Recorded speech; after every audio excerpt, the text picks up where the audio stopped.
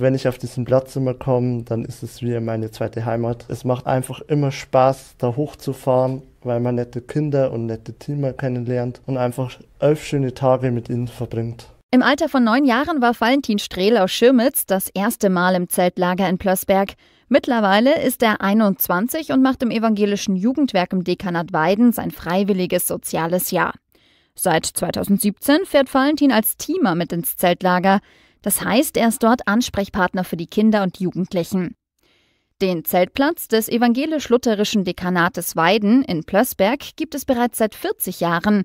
Eine lange Zeit, in der immer mal wieder Sanierungsarbeiten anstehen, verrät Dekanatsjugendreferent Thomas Fitztum. Also wir haben hier ähm, unsere Sunny-Baracke, das ist eine Unterkunftshütte, wo Teamer ähm, schlafen können, als auch Kinder, die erkrankt sind. Die ähm, muss äh, erneuert werden. Und das größte Ding natürlich ist unser Küchengebäude, weil das äh, so gebaut wurde äh, für Zeiten, wo die Zeltlager kleiner waren und das natürlich den heutigen Essgewohnheiten ähm, auch nicht mehr entspricht. Darüber hinaus müssen die Stromleitungen erneuert werden. Für die Modernisierungsmaßnahme ist eine knappe halbe Million Euro angesetzt.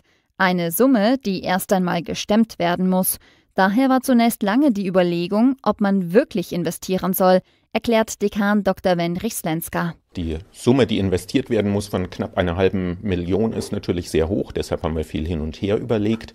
Aber das eine ist, dass diese Zeltlager immer noch sehr, sehr gut ankommen bei Kindern und Jugendlichen. Auch die Eltern sind begeistert.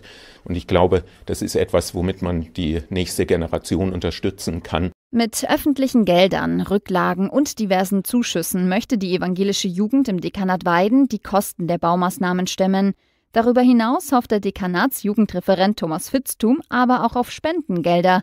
Sein Spendenziel ist mindestens 25.000 Euro. Deshalb haben wir die Spendenaktion der Goldene Kochlöffel ins Leben gerufen und da hoffen wir natürlich, dass es viele ehemalige äh, Mitarbeitende gibt, als auch Teilnehmende, die einfach sagen, ich habe hier eine so gute Zeit erlebt und kann jetzt auch für die nächsten Generationen was sichern und spende. Alle Infos dazu finden Sie im Netz unter www.ej-weiden.de.